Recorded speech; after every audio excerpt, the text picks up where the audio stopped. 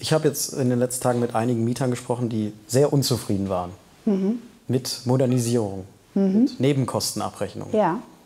Wenn Sie uns die Namen geben, dann setzen wir uns gerne mit den Mietern zusammen. Das Lustige ist, viele von denen haben Angst, ihre Namen zu nennen. Ja, das ist traurig.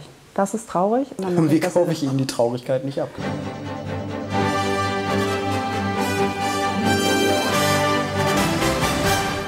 Erinnerst du dich eigentlich noch an deinen ersten Einsatz für die Heute Show? Klar, sowas vergisst man nicht. Viele Menschen, aufgeheizte Stimmung und lautes Gegröle.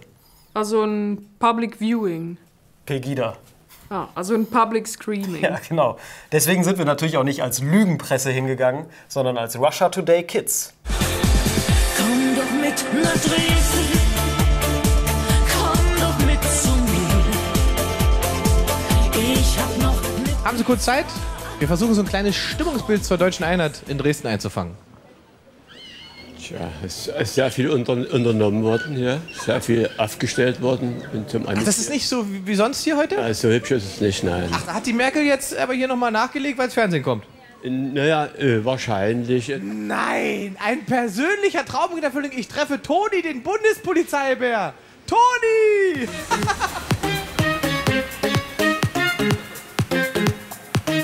Also hier ist ausgelassene Stimmung. Äh, Wie sieht's bei dir aus, Fabian? Hallo, ich bin von Russia Today Kids. Warum sind Sie heute hier? Ich möchte verhindern, was wir gar nicht mehr können. Das Untergang Europas, Untergang, Untergang Deutschlands, Untergang Europas.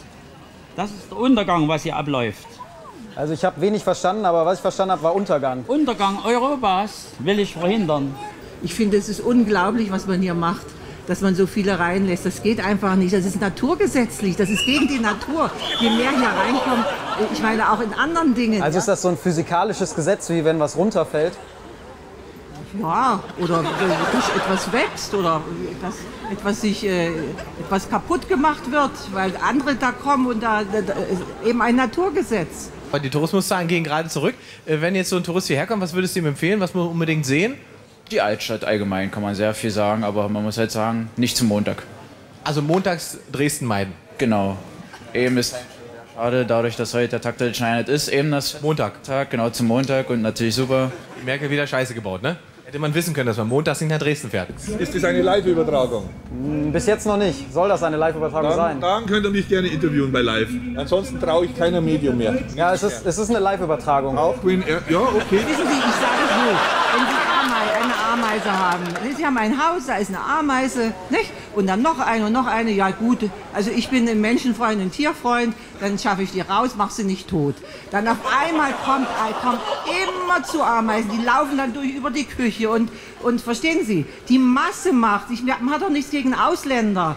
So, Angela Merkel hat nicht die gesamte Bundespolizei angefordert. Heute ist es eher ruhig. Es ist ja auch eigentlich nichts zu befürchten. Es ist ja nicht feindliches Gebiet oder sowas, sondern die Menschen freuen sich auf Merkel und deswegen braucht man eigentlich auch keine Polizei. Hier läuft der Untergang Europas. Immer noch. Immer noch. Wie lange geht er denn? Ja, ich weiß nicht, 20, 30, 40 Jahren wird Europa muslimisch sein. Und, äh, und dann? Und dann sind wir ein muslimisches Land. Ja, und was ist jetzt das Negative? Ja, dass das muslimisch wird.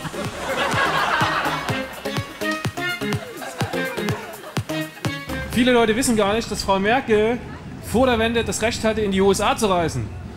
Der Verdacht, dass diese Frau eine CIA-Agentin ist, ne, wurde noch nie geäußert, aber das ist, man muss das mal bekannt machen, ne, die Tatsache. Sie durfte in den Westen fahren. Ist das eine Tatsache oder ein Verdacht? Es steht in Büchern. Ich kann das natürlich nicht bestätigen, aber es steht in Büchern, im Internet. Noch eine andere Frage. Sie feiern hier ja heute den Tag der deutschen Einheit. Natürlich, ne? Aber äh, am 3. Oktober war der Anschluss von Österreich doch gar nicht. Deutsche Einheit von Ost und West. Nee, nee, das ist ja an der Feier, wo Merkel und Gauck äh, teilnehmen. Nein, das hier ist auch Deutsch und äh, aus doch die dem. deutsche Einheit. Genauso hier. ist deutsche Einheit. 1989. Genauso ist es. 89. Ja, ich dachte, der Anschluss von Österreich wird hier. Nein. Quatsch! Wie kommen Sie denn auf sowas? Ja, das ist doch eine Pegida-Demo hier, oder nicht? Ja und? Ja, damit ist doch alles gesagt. Nein! Ich habe auch gehört, dass die USA hinter der deutschen Einheit steckt. Ähm, es gibt Bücher über die CIA, ihre Einsätze da, die sie da gemacht hat. Will ich jetzt nicht zu weiter zu, zu sagen. Ihr wisst. Ja, hier wird man direkt angegangen. Meine Mütze wurde geklaut. Jetzt ist natürlich meine Frisur durcheinander. Von alten Männern angetanzt und angegrapscht zu werden, das erinnert mich an meine Kommunionszeit. Aber was soll man machen? Ja, bitte. Entschuldigung, ich wollte nur darauf hinweisen, ähm, dass man Frau Merkel ihre Politik mal unter dem äh, Gesichtspunkt betrachten sollte, ob sie vielleicht doch nicht die Person ist, die sie vorgibt. Sondern eine sondern eine- CIA-Agentin. Ja, eine Agentin. So, ja, Freunde. Fabian, ich habe gehört, man hat dir deine Mütze geklaut. Wir kommen jetzt mal rum und organisieren die wieder zurück, wa? Die fordern hier mal einen wehrhaften Start. Ich habe da was organisiert. Zurück ins Studio. Pass auf, ich hab einen. Da hast du ja ordentlich auf die Mütze bekommen. Man sieht immer wieder, für unsere messerscharfe Satire sind wir zu Recht preisgekrönt. Wie war denn eigentlich dein erster Heute-Show-Dreh? Na, der war ziemlich sweet. Ich war auf der Süßwarenmesse. Okay, dann habe ich jetzt auch einen. Du hast nicht auf die Fresse bekommen, sondern in die Fresse. Ja, und zwar Zucker pur. Was ist denn der Unterschied zwischen Zucker und Crack? Fragen sich manche Leute. Ganz einfach. Crack schreibt man mit C. Zucker im Kaffee und Zitrone oder Sahne in den Tee. Das ist wunderbar, Senor. Hallo, darf ich Sie was fragen? Natürlich. Wie viel vor so einer Messe muss man denn aufhören, Süßigkeiten zu essen? Am besten man fängt schon drei Wochen davor an. Sonst sieht man dann so aus wie dieses äh, fette Schwein. Entschuldigung, Sie müssen schnell auf die Seite, sonst das fette Schwein meine ich da.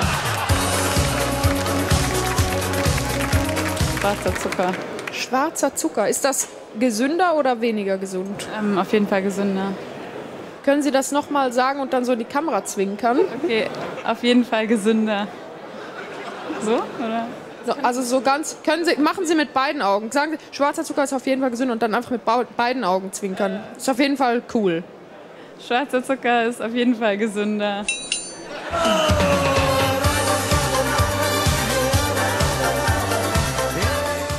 Manchmal trügt der Schein und selbst Leute, die zu schwer wirken, sind eigentlich gar nicht übergewichtig. Es sind eigentlich sehr, sehr schlanke Personen gefangen im Körper von sehr, sehr dicken. Das nennt man auch Transfette.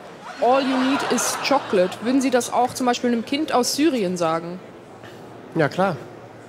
Und wie soll das dann reagieren? Äh, Zucker, man braucht auch Zucker. Ein etwas unkonventioneller Schokobrunnen, inspiriert an den ehemaligen Toiletten des antiken Roms. Und im Herzen immer noch einmal Amor. Das ist wunderbar, Senor. Ja, das ist also der erste Cookie, der jetzt in den Markt kommt mit Guarana. Und das ist natürlicher Koffein. Das heißt, wenn Sie zwei von diesem wunderschönen Cookie essen, dann haben Sie so viel, wie wenn Sie eine Dose Energy Drink trinken. Aber das äh, nehme ich dann ganz normal oral ein und nicht irgendwie so zerbröseln und mit der Nase. Nee, das nehmen Sie so ein, wie Sie normalerweise Ihre Nahrung aufnehmen. Ich weiß nicht, wie Sie das sonst machen, aber wenn Sie es so machen, wie Sie es sonst machen, haben Sie genau den richtigen Weg. makes it uh, less easy to get tooth decay. You sound so professional. Are you a child or are you just a very small adult? I'm 10 years old. 10? That's so young. Thank you. That's not a compliment, it's just a fact. Sie sind unglaublich hässlich. Was ist denn, wie sehen Sie denn ohne dieses Kostüm aus? Noch hässlicher. Können Sie auch sowas Praktisches wie zum Beispiel eine Insulinspritze modellieren? Insulinspritze.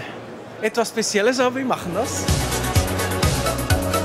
Aber zum Glück ist Diabetes nicht das Einzige, was man hier mitnehmen kann. Und damit zurück ins Studio.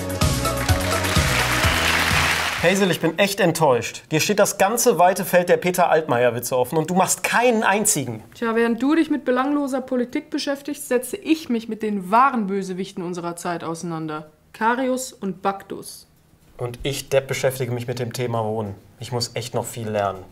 Eine ganz normale Wohnsiedlung. Oder wie Vonovia sagt, Geldquelle. Wie funktioniert dieses Prinzip? Unter anderem mit Umbauten. dass sie jetzt hier den Bau machen und, und auf dieses Haus noch eine Etage draufsetzen wollen. Die sagen, es dauert zwölf Monate, bis das fertig ist. Und äh, wir haben ja schon angedroht, dass es eine Vermieterhöhung gibt. Also muss ich bei meiner Wohnung hier mindestens mit 250 Euro mehr bezahlen. Man muss ja auch mal an die Aktionäre denken. Ja, was heißt die Aktionäre? Die interessieren mich überhaupt nicht. Aber was sagt Vonovia dazu? Ich habe jetzt in den letzten Tagen mit einigen Mietern gesprochen, die sehr unzufrieden waren Mhm. mit Modernisierung, Mhm. mit Nebenkostenabrechnung. Ja. Wenn Sie uns die Namen geben, dann setzen wir uns gerne mit den Mietern zusammen. Das Lustige ist, viele von denen haben Angst, ihre Namen zu nennen. Ja, das ist traurig. Das ist traurig. Und dann Irgendwie das kaufe ich Ihnen die Traurigkeit nicht ab gerade. Nee, aber wirklich. Was haben Sie für Nebenkosten? Es wird ein Winterdienst abgerechnet, wenn entweder kein Schnee fällt oder es fällt Schnee, aber es kommt auch kein Winterdienst. Wann ist denn der Winterdienst in der Regel unterwegs? Der ist nicht morgens um 6 unterwegs, sondern der ist morgens um 4 unterwegs. Natürlich ist es dann häufig für die Mieter in dem Haus nicht sichtbar. Und dann hat es danach geschneit und deswegen hat der Mieter das dann nicht mitbekommen. Und dann am nächsten Tag kam das sehr gute Streuunternehmen, hat gestreut. Dann, was ist dann passiert? Es hat, glauben Sie es oder nicht, es hat geschneit. Und dann ist der Vonovia-Mieter wieder aufgewacht und hat gedacht, Mann, das gibt's doch nicht. Hier ist ja schon wieder nicht gestreut worden. Sie können mit Einzelfällen ankommen. Äh, meinen Sie, wir haben Interesse daran, dass unsere Nebenkosten überhöht sind? Daran haben wir überhaupt kein Interesse. Nein, haben wir nicht. Wir sind sehr verlässlich. was die Dividenden angeht. In Berlin gibt es die Idee, große Wohnungskonzerne einfach zu enteignen. Wir testen die Stimmung auf dem Deutschen Immobilienkongress. Enteignung? Kann jetzt nicht sprechen. Kein Kommentar. Thema Enteignung? Danke. Thema Enteignung? Die Leute laufen wirklich vor mir weg die ganze Zeit. Hallo, schönen guten Tag. Thema Enteignung? Ich glaube nicht, dass damit die Probleme dieser Stadt gelöst werden. Aber es sind ja doch überraschend viele Berliner dafür. Wenn Sie die Berliner fragen würden, ob es täglich Freibier geben würde, würde es wahrscheinlich auch dafür stimmen.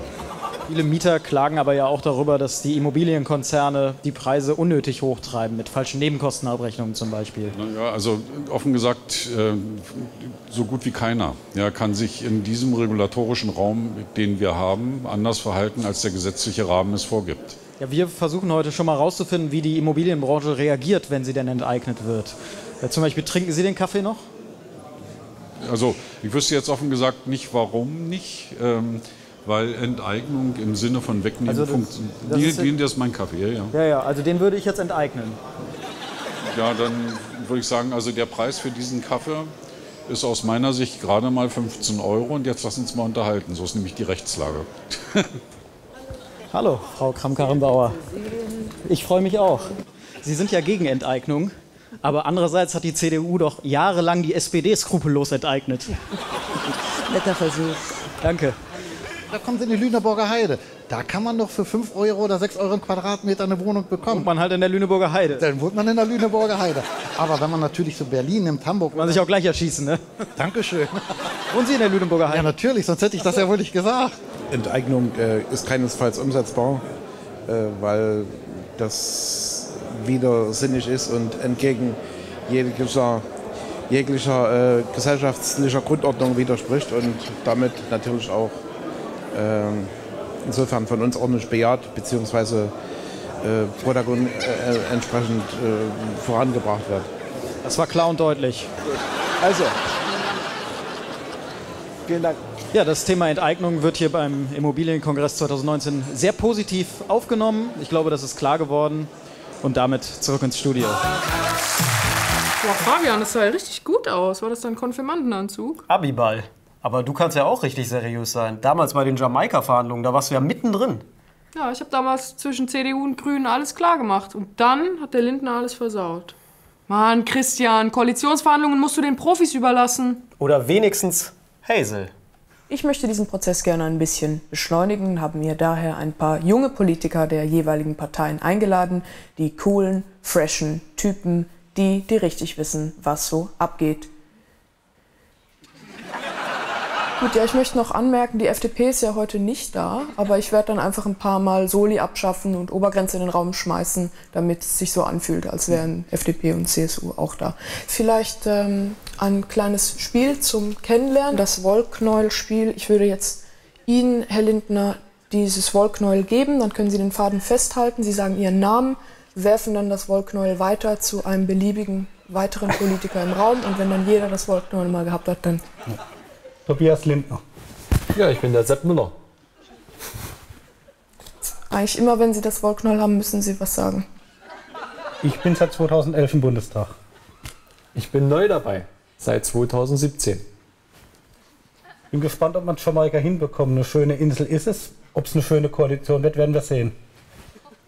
Ich freue mich auf Jamaika. Vielleicht kommen wir jetzt zu inhaltlichen Themen. Herr Lindner, warum ist das Klima cool? Naja, das Klima ist im Moment zu heiß, um ehrlich zu sein. Und um mal mit dem Lob zu beginnen, es war richtig, dass die Kanzlerin in Paris ein Klimaabkommen unterschrieben hat. Und da hat sie sich ja dazu verpflichtet, dass wir in Deutschland CO2 Emissionen reduzieren. Aber das Wir haben ja die saubersten Dieselmotoren VW. Ja. Also das will man ja nochmal ja, das will man noch mal deutlich sagen. Wir in Deutschland produzieren die saubersten und besten Dieselmotoren, die weltweit mit produziert werden. Das muss so ein bisschen sagen. wie wenn man die Waffen herstellt, die am wenigsten wehtun. Oder? Also die saubersten Dieselmotoren, das ist ja immer noch nicht sauber. Das ist nicht sauber, da gebe ich Ihnen recht. Gut, äh, weiteres Thema vielleicht Flüchtlingskrise.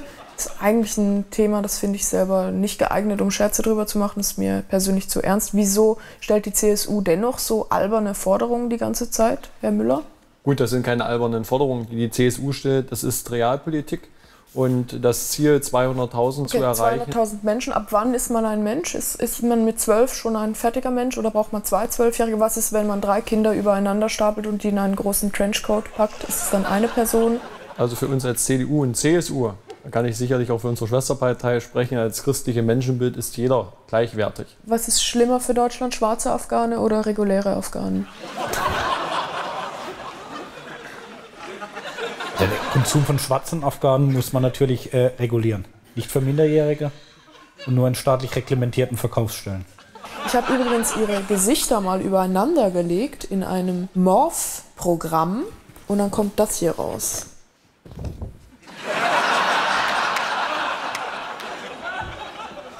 Das ist der sogenannte visuelle Humor. Der funktioniert manchmal. Gut, also ein Kompromiss. Die Grünen lassen sich auch von Horst Seehofer herumkommandieren und dafür übernimmt die CDU seine Pflege. Ja, wir, würden In auch, wir, wir würden auch Horst Seehofer in meinem Wahlkreis pflegen. Er war jetzt übrigens auch zu Gast in Aber Wittenberg Sie haben zum ja gar keine. Ärzte dort auf dem Land. Wir brauchen ja keine Ärzte, um Horst Seehofer zu pflegen, sondern wir brauchen Pfleger. Pflege gerne, aber kommandieren nicht. Okay, aber Pflege übernimmt ja die CDU. Also Sie können ja nicht einfach sagen, Also jetzt, ich möchte mich jetzt nicht mit den Grünen streiten, wer Horst Seehofer pflegt, ja. Ähm, aber ohne, ohne Quatsch, wir würden Horst Seehofer gerne pflegen, auch in meiner Heimat. ich würde sagen, es ist Zeit, den Koalitionsvertrag zu unterschreiben. Ich habe hier etwas vorbereitet. Herr Lindner, möchten Sie anfangen? Mit was muss ich unterschreiben? Mit Horst mit Ihrem Seehofer? Namen. Mit meinem. Sie schreiben einfach Ihren Namen. Aber ich kann natürlich für die CDU nicht unterschreiben, das kann ich mir jetzt nicht anmaßen. Wir haben da eine Parteivorsitzende und die entsprechenden Gremien, aber ich kann es natürlich nicht. Ähm, aber bei uns Großen ist es wichtig, da gibt es Gremien und da anhalten wir uns. Also Sie wollen das nicht unterschreiben.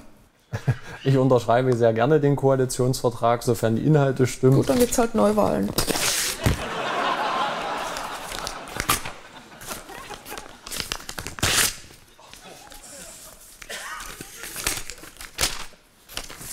Kann man noch einen Joint draus drehen, wenn Sie wollen. Jetzt braucht jetzt eher er. Gibt es eigentlich eine Obergrenze für Seehoferpfleger? Boah, nee, also da kann es nicht genug geben. Aber wenn du Seehofer pflegst, dann stelle ich mich persönlich auf den Balkon und applaudiere dir. Ach ja, man kann ja mit Pflege richtig Cash machen. Also jetzt nicht als Pfleger, als Investor. Herr Brüderle, guten Morgen. Morgen, aber wir machen jetzt nichts. So schnell kann es gehen. Da redet man über die Pflege und wird schon direkt überfahren. Ja. Darf ich mit reinkommen? Weiß ich nicht, wenn sie angemeldet sind, ja. Sie, äh, Ihr Pressesprecher hat es uns verboten. Dann bleiben sie draußen. Ja, jetzt darf ich ja eh nicht in die Veranstaltung, muss auf das Pressestatement warten. Von daher mache ich mir in der Zeit einfach mal selbst ein Bild und gehe ins Altersheim. Sie sind Herr Köster? Ja. Schön, dass Sie endlich da sind. Hier sind einmal Ihre Sachen und der Ablaufplan für heute und dann müssen wir auch schon los. Das ist aber ganz schön viel. Ja, das muss so. Und jetzt, wir sind schon spät. Sehr gut.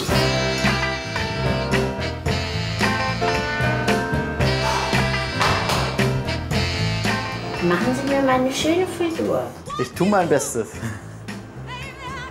So, den Scheitel so mehr rechts. So mehr? So, ja. Hm?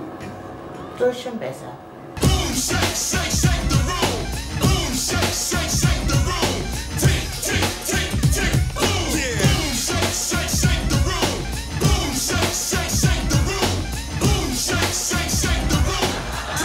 Würden Sie einem jungen Menschen raten, Pfleger zu werden?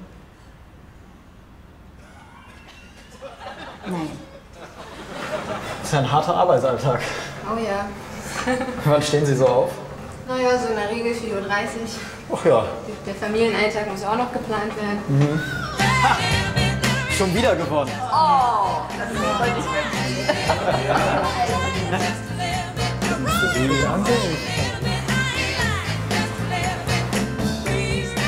Aber ich muss wirklich sagen, es ist schon anstrengend. Ich glaube, ich kann besser Unterhaltung. Hm, Wenn Sie meinen. Hallo Berlin, seid ihr gut drauf? Ja, ich fange direkt mal mit einem Klassiker an. Kennen Sie bestimmt alle. Kommt ein Pferd in eine Bar, sagt der Barkeeper, warum das lange Gesicht? Ja, Thema Pflege, ne? Da habe ich direkt noch einen für euch. Wie nennt man einen reichen Pfleger? Erbe. Der ist ja Hintergrund. Der ist hintergründig, Sie haben es erfasst. Okay, einen habe ich noch. Woran erkennt man Rainer Brüderle im Fernsehen? An den Untertiteln. Das war's von mir. Vielen Dank, Berlin. Danke. Tja, ich weiß halt, wie man einen Laden zum Kochen bringt. Und jetzt geht's nochmal zum Brüderle. Die Beschäftigten wissen Bescheid. Wenn jedes Jahr mehr Beschäftigte zu den privaten Unternehmen gehen, ist es deren Entscheidung aus guten Überlegungen heraus. Was würden Sie sagen, ist cleverer? In die Pflegeversicherung einzahlen oder einfach direkt in ein Heim investieren und dann davon leben, von der Rendite? Sagen, richten Sie mal Herrn Welke herzliche Grüße aus. Nachdem er eine sehr lange Sommerpause genommen hat, wünsche ich ein Glück auf für seine weitere Sendung. Ja, jetzt sind wir ja wieder da und Sie sind ja auf dem Gebiet ein echter Experte, eine Koryphäe. Sie kennen sich wirklich sehr gut aus. Deswegen meine Frage, welchen Wein soll ich kaufen? Bleiben Sie dabei, machen Sie gute Sendung, produzieren Sie. Ich habe Sie vermisst auf dem Bildschirm und strengen sich an, dann gucke ich schon wieder zu. Ich habe das Gefühl, Sie hören mir nicht richtig zu. Ich höre sehr gut zu. Aber das passt ja auch zum Thema Pflege. Aber es ist halt so, wenn Sie die Antwort nicht kriegen, wie Sie wollen, dann passt es Ihnen auch nicht. Da darf ich Rainer Brüderle doch noch Fragen stellen und er redet beim Thema Pflege nur über Welke. Aber Olli, lass dir nichts sagen, so alt bist du noch nicht. Und wenn was ist, ich bin für dich da. Und damit zurück ins Pflegestudio. Äh, Studio. Kriegst du keinen Ärger, wenn du solche Witze über Olli machst? Das ist ja das Gute. Er hat es nach zwei Minuten wieder vergessen. Die Pflegewitze gehen einem aber auch nicht aus. Ja, also so ein Praktikum in der Pflege ist schon ziemlich krass. Aber ich glaube, ich kann das noch toppen. Noch härter und trauriger als der Pflegealltag, das kann ja nur eins bedeuten. Ein Praktikum bei der SPD.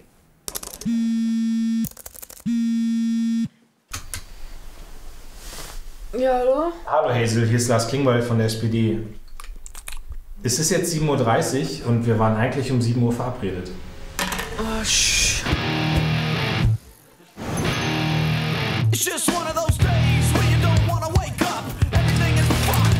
sucks. So come and get it. Ah, Herr Klingbeil, hallo, die neue Praktikantin ist hier. Hi. Hallo, Lars Klingbeil. Hazel Brugger, ich bin sowas wie die Greta Thunberg der deutschen Comedy-Szene. Ja, das tut uns ja vielleicht mal ganz gut. Ich mache vielleicht den einen oder anderen bösen Witz heute, aber ich denke, Das nichts, ist man ist gewohnt in der SPD. ja, nichts wird so schlimm sein wie die eigentliche Situation, in der sie sich gerade befinden. So, ich muss jetzt rüber ins Parlament. Äh, Wir haben jetzt die Generaldebatte, die Kanzlerin spricht ähm, und du fängst einfach schon mal an und beantwortest ein paar Mails. Also wir kriegen immer so Bürgeranfragen per E-Mail oder per Post. Ähm, das hier ist jetzt was zum Klimaschutzpaket. Wenn es um eine CO2-Steuer geht, sollte auch das Pferd nicht vergessen werden. Die Millionen Freizeitpferde stehen auf den Weiden und verrichten ihre Notdurft und bringen ungezähltes Nitrat in den Boden. Ich hätte jetzt das hier zurückgeschickt. Sie sprechen vom Freizeitpferd. Lustig, denn so nenne ich meine Ehefrau auch manchmal. Das geht nicht. Wieso nicht? Ich kann ja nicht so über meine Frau reden, dann ist hier wieder weg. Wenn der Anspruch ist, selbst Abgeordnete zu werden, dann müssen wir das ernst nehmen, weil sonst schreiben die uns ja nie wieder. Das ist doch gut, dann hast du viel Ja, mehr weiß. Freizeit. Ja. Da kann ich meine Unterschrift nicht drunter setzen. Ich versuche so alle zwei Wochen irgendwie mal irgendein Format zu machen, Facebook Live, Instagram Live oder eben Instagram Q&A, wo alle mir Fragen stellen können. Jetzt versuch mal so auszusehen, als fändest du es mega cool. Okay. Dom, wie bist du zur Politik gekommen? Willst du lustig antworten oder, also weißt du, mit dem Bus oder? Ich sehe einfach bei deinen Sachen ein bisschen ein Problem, du hast eine sehr niedrige Gagdichte. Ja. Ach, Herr Scheuer, hallo. Hi. Oh, grüßt du den auch immer so nett oder nur weil ich jetzt dabei bin? Nö, den grüße ich schon immer. Neulich mal irgendwie ein Fahrstuhl, dann geht die Tür auf, dann steht da die Beine drin und so, da will man dann gar nicht in den Fahrstuhl rein. Aber auch nicht für ein Stockwerk und dann so leise reinpupsen und dann wieder rausgehen? Ja. Damit die Beide mit dem Klingballpups im Lift rumfahren? Sowas würde ich nie tun. Du musst ja schon ganz schön viel arbeiten, oder? Ja, das gehört dazu. Ist doch krass, wie viel du erreichen würdest, wenn du einer sinnvollen Tätigkeit nachgehen würdest. Hier tagt jeden Dienstag die SPD-Bundestagsfraktion. 15 Uhr geht's los, meistens so bis 19 Uhr. Wie, wie stelle ich mir das vor? So wie ein Poetry Slam, aber alle verlieren. Ist ja Genau. ein mega spannender Moment irgendwie auch für alle SPD-Fans, die zuschauen. Wenn man hier einmal die Fraktion sieht. Hallo Genau, ihr zwei. Ich nehme jetzt ein Video auf für die SPD in Oldenburg, die feiert 150 Jahre und ich schicke eine Grußbotschaft. Wer bei uns Mitglied ist, kann auch in Zukunft für Fortschritt und Zusammenhalt in unserem Land sorgen. Da musste ich dann so richtig draufsetzen, dass die Zeit haben zu Aber lachen. versuche ich ernst zu sagen, oder? Das kommt besser. Ja, mach einfach, tu so, als wäre es nicht ein Witz. Und dann sagen, wie cool die Zukunft wird. Kannst auch was erfinden. Musste eigentlich. Gut. Okay, und Action. Liebe Genossinnen und Genossen, herzliche Grüße nach Oldenburg.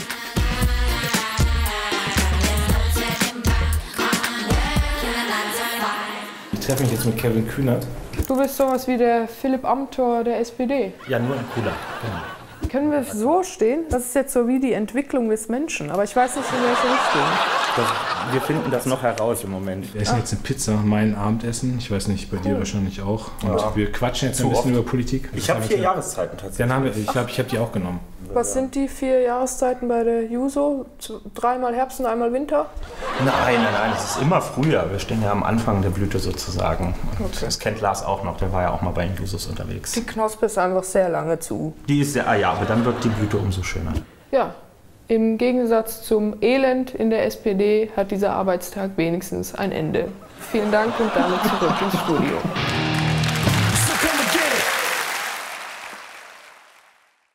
Oh, die SPD kann einem echt leid tun, oder? Ständig dieser bedürftige Hilferuf nach Unterstützung. Ja, schlimm. Aber weißt du, wie man uns, also die Heute-Show, auch unterstützen kann? Mit einem Abo auf unserem YouTube-Kanal und einem Like unter diesem Video. Und das ist noch nicht alles. Nein, ich muss bekloppt sein. Obendrauf gibt es noch die neue Best-of-Folge in der ZDF-Mediathek. Super Hammer Geilomat! Oh Gott, das würde mich wahnsinnig machen, immer so nach Hilfe zu flehen. Ja, schlimm. Die SPD tut mir echt leid.